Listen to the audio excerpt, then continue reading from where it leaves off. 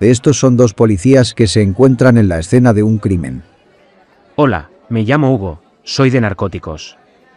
Encantado, yo Sebastián, yo soy más de cubatas de toda la vida.